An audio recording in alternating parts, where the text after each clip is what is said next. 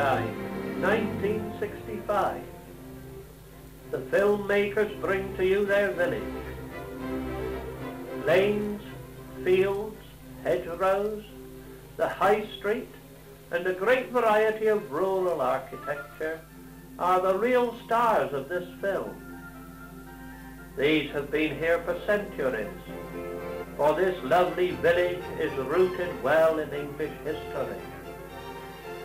You will see a few of the present-day villagers living against this ancient setting, repeating in their turn the normal rhythm of daily life. Rural England is changing, and specialization in the farming industry has altered greatly the pattern of work. Fewer people work on the farms. As machinery speeds up and increases one man's efficiency.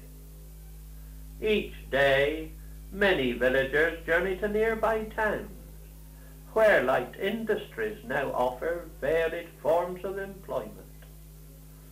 Within the village, there are many interesting organizations, well supported by young and old alike. In this film, we can but show a few of these. Notable changes in the village life are recorded by older villagers. The saddler, the miller, the blacksmith, the wheelwright, and the carpenter, these have gone. Those who require the services of such craftsmen must go to the market towns and shopping centres. Despite these fundamental changes, there is still a strong sense of village life. After the day's work in factory or office, or on the farm, evening time finds the villagers engaged in many pursuits.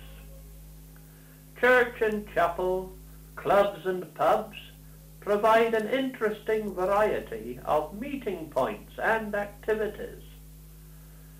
Newcomers to the village are soon absorbed by the opportunities for leisurely meeting with neighbours. Potterne landmarks include the fine, sturdy, early English church of St. Mary the Virgin, closely linked in time with the cathedral church in Salisbury. There is a fine group of timbered dwellings in the High Street, most notable being the Porch House.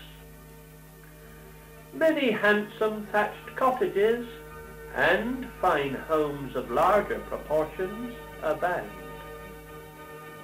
Two distinctive dwellings of the latter category are Court Hill House and Church House.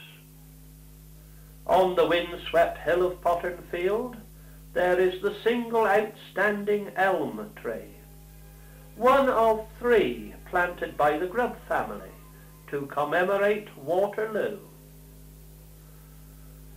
The traveller is well advised to leave his car and explore the village on foot. Like many North Plain villages, Potterne can offer rare views of unsurpassable beauty. Vistas of the downland to the north and Salisbury Plain to the south, wooded corners and ancient lanes of great beauty.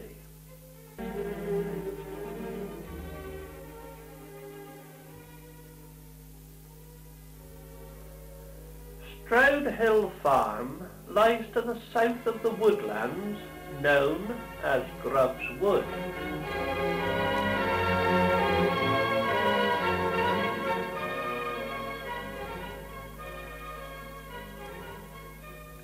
Mr. Cecil Brown is seen admitting his herd for early morning milking.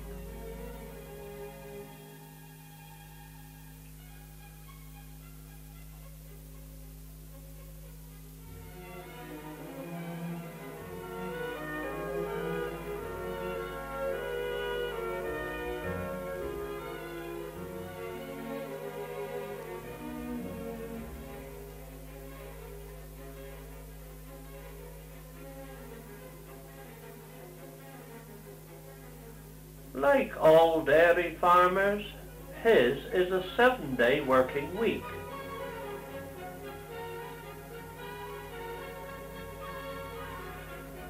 Modern milking machinery has greatly assisted such farmers. This type of milking machine is used throughout the village. Similar to many rural areas, only half of the farms in the village are milk producing compared with 25 years ago. Before being collected by the processing dairy, the milk passes through the cooling unit.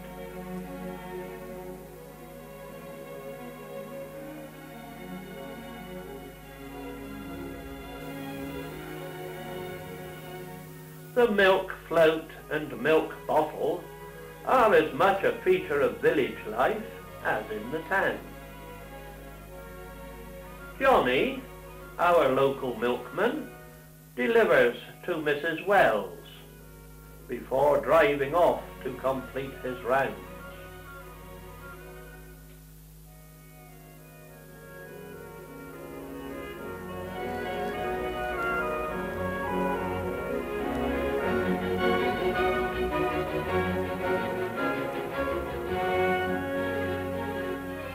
The village post office is in the High Street.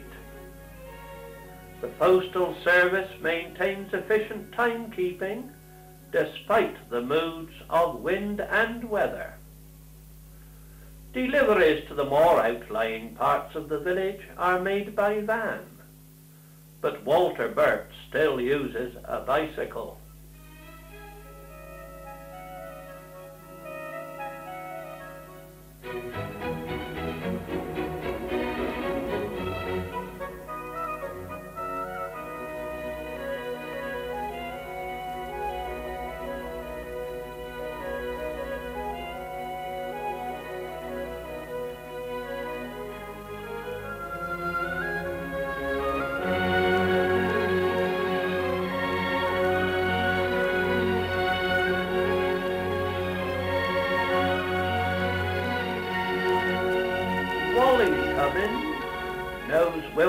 Better than most.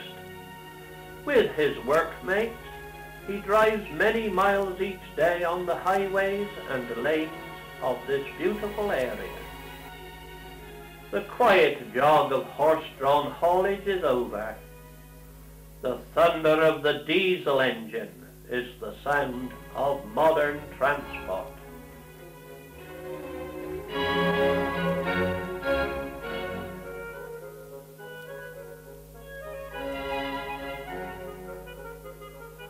Mr. and Mrs. Fred Pinchin keep the village grocery and meat store. Originally one of the village bakeries. This building at one time housed an old type brick-side flue oven, which is no longer an economical proposition for baking. The nearby market town serves the villagers for some of their needs. Gone are the days of the jumbled general store. A modern and well-equipped shop is a necessary feature of the village. As their fathers before them, these children still make the village store their centre before making their way to school. The school bell housed in the roof of the headmaster's house now remains silent. In its place, the handbell is rung by Mr. Naylor, the headmaster. This building has seen many changes. Mr. and Mrs. Smith now have their petrol station and hardware store where once the village saddler worked. The craftsman, the saddler, was Bill Smith's father. The late Mr. Smith was also for many years the much respected licensee of the George and Dragon. The village now boasts its own ladies' hairdressing salon. Since 1964, Miss Rosemary has served the ladies of the village.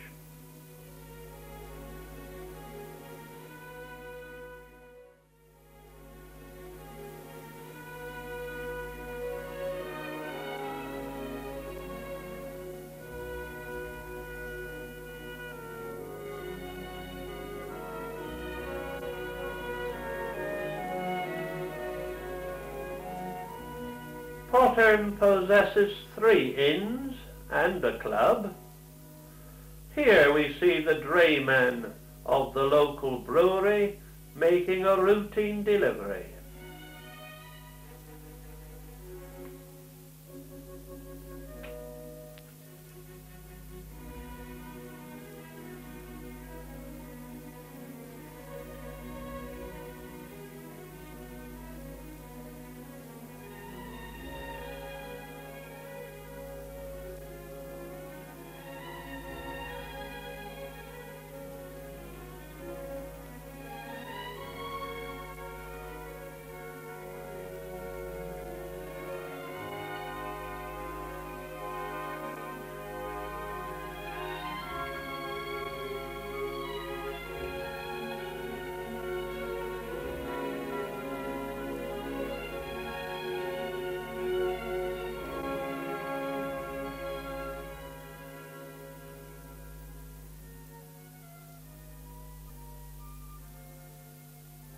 Chris Giddings is a thatcher.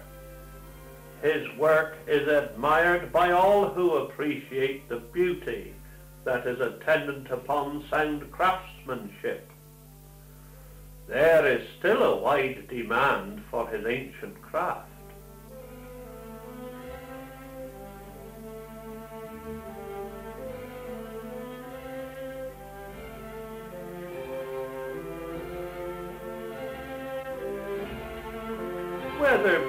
Faces are a common feature on land and sea.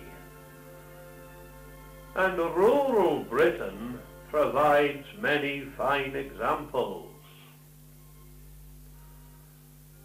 Our old friend and villager, Mr. Harry Bryant, has spent a long life in outdoor work.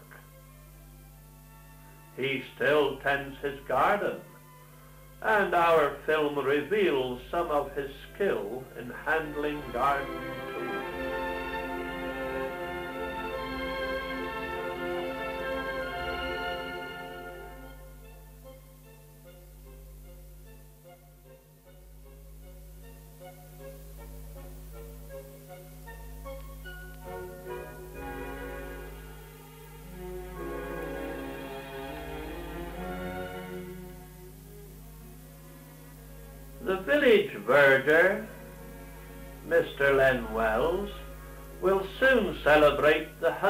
Year of his family's service to the village church. He serves well our beautiful church of St. Mary the Virgin. As bell ringer, clock minder, he maintains the efficiency of the tower.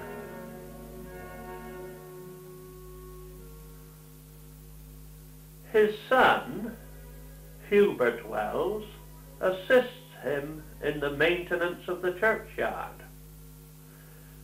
The beautiful aspect of church and grounds owes much to the work of father and son.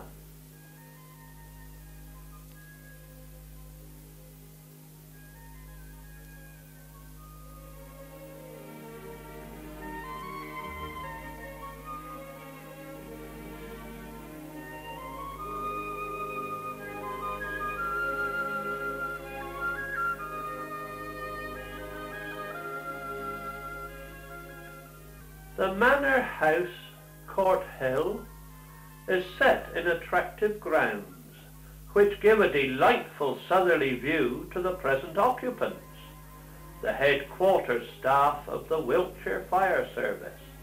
This large house, like so many others, enjoys a new lease of life by serving as the headquarters of a public department. A local fire officer, Mr. Tom Baker, displays some early models of firefighting equipment with old-type firemen's helmets.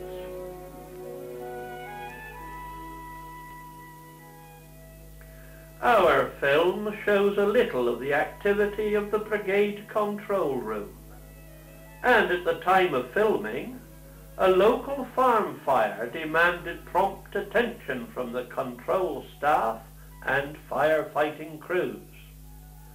The coloured telephones assist the control officer as he gives directions for the fire appliances to be deployed.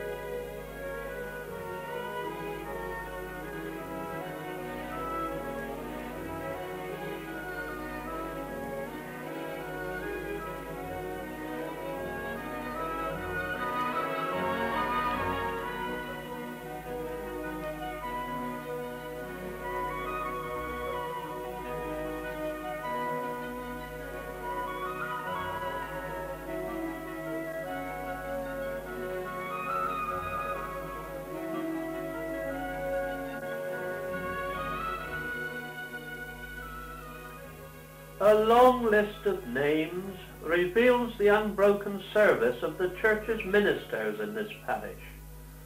The Reverend J.T. Davis maintains an office which is centuries old.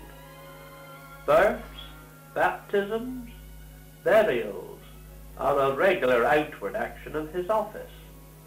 But we all should remember the intercessions regularly and daily offered for our village and people. The vicar is the guardian of our Christian state, and we owe to him friendship and loyalty, for he is always available to assist us in our need for God's ministry. Our film shows the vicar preparing for a wedding. Many forget that the church is an important custodian of records and the priest must prepare the appropriate registers before the service of holy matrimony. This is the day for Miss Sandra Tracy. The village church is an attractive setting for the young couple whom we see on their wedding day. The vows before the priest have been made the records of our village have received more names. The joyful bells have been released to give their merry greeting. And we see the newlyweds descent from the church, surrounded by their happy relations and friends. Under the leadership of Brown Owl, Mrs. Hopkins, the, the Brownies perform their opening ceremony. These children portray the gay, carefree spirit of the younger generation of the village. Similar organizations cater for other age groups and are typical of the many varied activities which function through the zeal and enthusiasm of the adult organizer.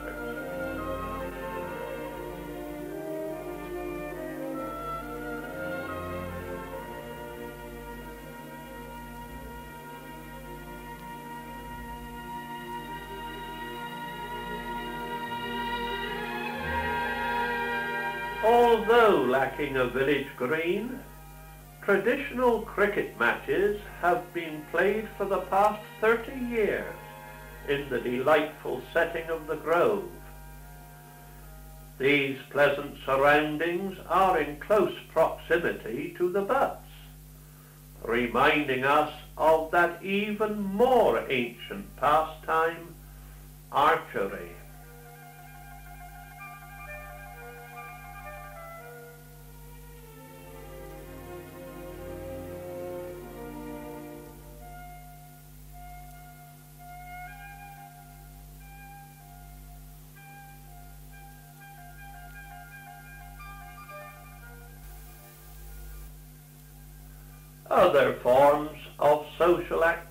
Are to be found in the local inns, where many enjoyable evenings are spent. The ever popular game of darts is still a feature of the inns,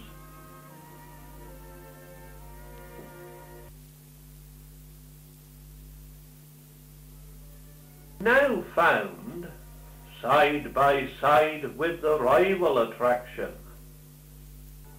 the one-armed bandit.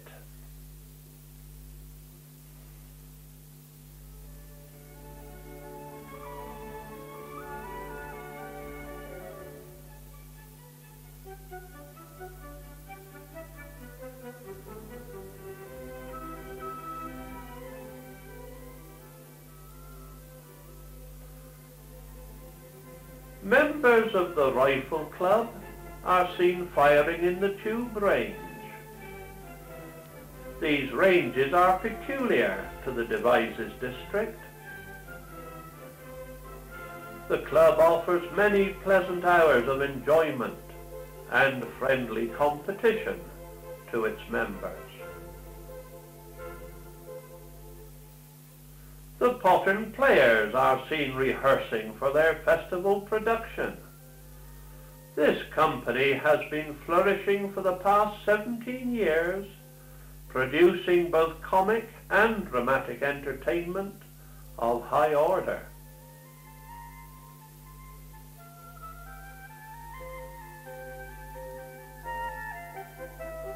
Time, gentlemen, please.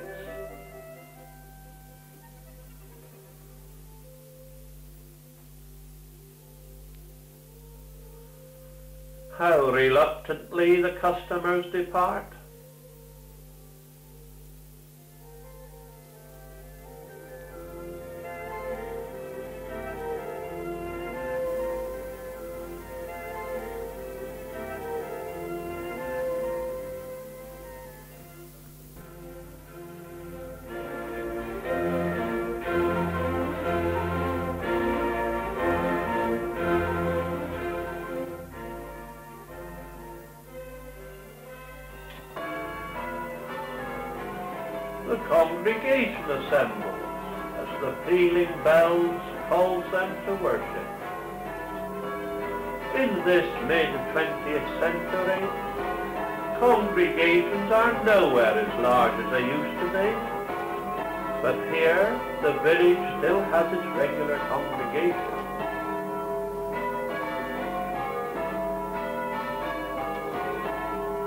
It is said that nowhere in the world is the art of change ringing brought to such a pitch of perfection as in England.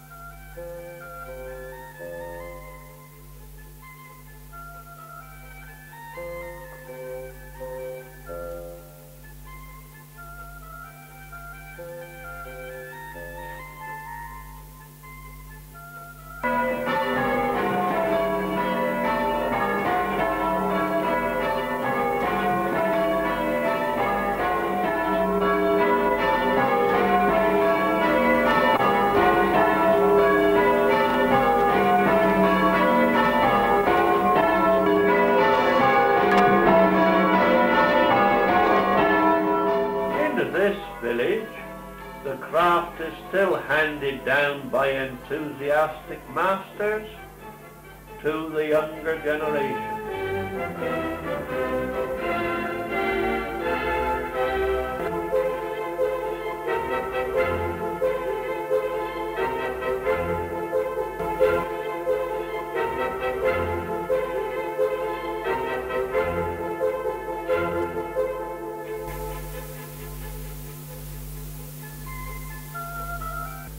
Mr. Wells, dignified in verger's robes, leads the church choir in solemn procession. They proudly wear the light blue of the Royal School of English Church Music, to which they are affiliated.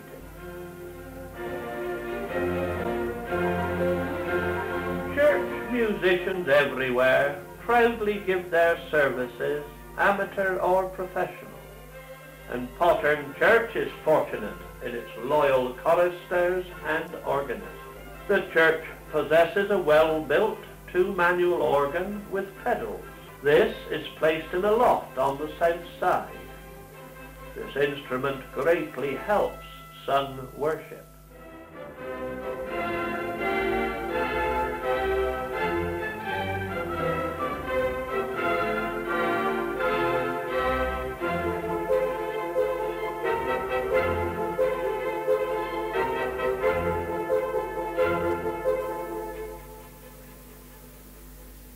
Procession we see precedes the service of Matins.